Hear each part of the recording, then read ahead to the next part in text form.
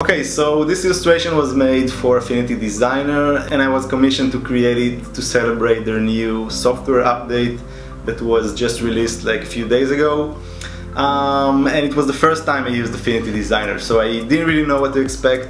I heard good things about it from Christy Lutoit, but it obviously works kind of different than the way I do so so I wasn't sure what's gonna happen and it took me like a couple of days until I kind of started feeling comfortable using the software and started enjoying the process. Um, but overall I think it's a great software and I want to share some of the things that I kind of like that I liked and disliked about it. And this video is not being sponsored by Affinity or anybody else. So I just want to share with you my honest opinion about uh, using this software. Okay so let's start. Um, the first thing that is uh, very different from Photoshop is the fact that you can actually work with um, with an environment which is completely vector and create vector illustrations and then save them as SVGs or EPS files which is super great and very very helpful if you are um, working on different kind of projects. I mean sometimes I have to use uh, vector shapes because sometimes for projects that involve animation or like things that goes online for like web designs and stuff like that you kind of have to work with vector shapes. So this is very very helpful. Uh, but the thing is it's only half of the abilities that Affinity has. You can actually switch your uh, environment and use the pixel persona um, and then you can actually use brushes and add textures and you know details with uh, and just work freely with your brushes to add lines and details to your illustration so uh, you kind of can you can kind of enjoy both worlds and I think it's a really really good thing.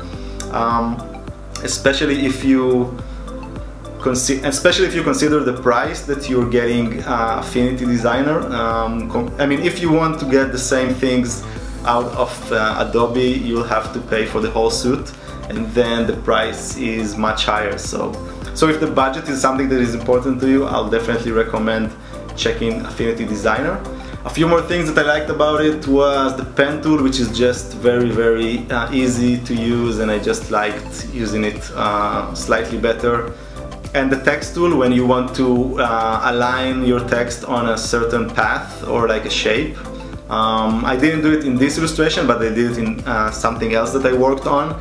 Um, and it's just super, super intuitive and easy to use. And it's just something that was always a pain in the ass um, doing in Photoshop. So I just really like their text tool. Um, and another good thing would be the symmetry tool, which you can use when working with your brushes. Um, and this just saves so much time um, and, and make things super precise. So I really, really enjoyed it as well. Um, the only thing that I that was kind of missing for me was the fact that you can't use color selection to uh, you know isolate a certain texture from photo or um, or just pick a certain color from all your canvas and then change it or something like that. Um, maybe I'm missing something and there's actually an, an, option to do it in Affinity Designer but I couldn't figure it out uh, for myself so this is like the only thing that I feel is kind of missing for me for my own personal process of creating illustrations and designs.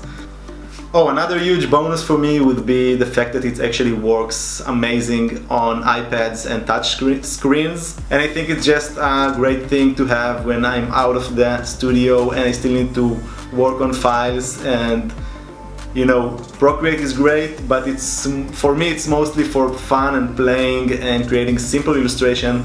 It's not really fitted for my uh, you know really complex way of working and creating illustrations with tons of layers and shapes. So I think having Affinity on the iPad can really save me, can, can become really helpful for me when I'm out of the studio and still wanna you know make a few tweaks to a certain uh, project that I'm working on. Overall I think it's super great and I really enjoy the process of working with Affinity. Alright, so I also wanted to give you a few recommendations for videos and channels uh, here on YouTube that you can uh, watch. Uh, I mean, I always look for new uh, illustration and design content on YouTube, so I thought I'll share these with you uh, and you might enjoy them as well. The first channel that I really like is called uh, Struthless. I discovered it very recently and I think great and you can you, you, should totally check it out. I'm gonna add a link in the description to one of my favorite uh, videos. And this guy makes really cool illustration. He has a super interesting style. And he actually makes like super fun videos where he draw the same character in 10 different styles. So these videos are super fun to watch. And I think you also need to check out his other videos where he just talks to the camera and give advice or like I don't know his opinion on different stuff that relates to artists and being a creative person and all that. So uh, I think he's a super smart guy and he makes really good videos. So, so I'm pretty sure you'll enjoy his videos.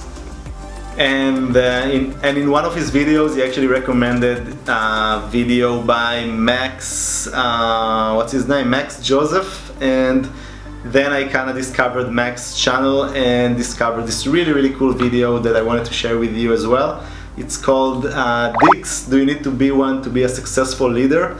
And it actually deals with the question of whether or not a director like a film director needs to be very aggressive and you know basically be a dick in order to, to create a very good film.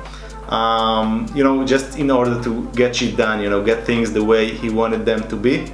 Um, so it basically deals with these questions uh, that is super relevant for anyone who is creative and trying you know to make creative projects collaborate with other people um, or working with you know clients and things like that and there's always this struggle and you always need kind of want to push things to your creative vision, I guess. Um, so it kind of deals with this question, and it's kind of funny, you know, thinking about it.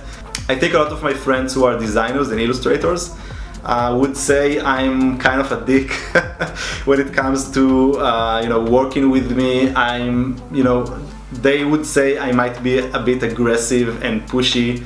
And when you ask like my other friends, like regular friends, they'll probably say I'm the, the most relaxed and quiet person they know. So uh, it's kind of funny thinking about you know this question, you know whether or not you're aggressive um, and pushy with you know with your creative work.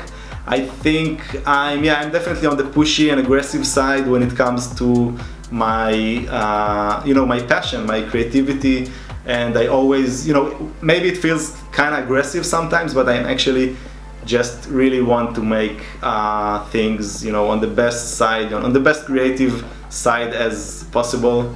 Um, so anyway I think it's it's a really good video. And you know if you ask me like the answer to this question is no you don't need to be a dick you just need to stand your ground and you know fight for what you believe uh, the creative vision should be for any project that you're working on. So anyway, I think it's a great video and I'm sure you will enjoy it and appreciate it if you're a creative person.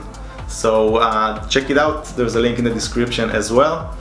Uh, another cool video, another cool YouTube channel that I recently discovered is called Slew and this guy is I just really like his vibe, he's super cool, just a cool dude, making mostly like oil paintings and murals and things like that. And yeah, he's just making fun videos, cool process videos that I really like watching so so I'm gonna add a link to one of my personal favorite videos from Slew. Well I didn't really mention a lot of other channels that I really like watching so I'm just gonna pop them now on the screen in case you're wondering you know what type of channels I like watching on YouTube um, and lastly I want to say thanks to all of you for watching. I've recently got a ton of emails and DMs on Instagram and some of you guys are posting stuff on the Discord server.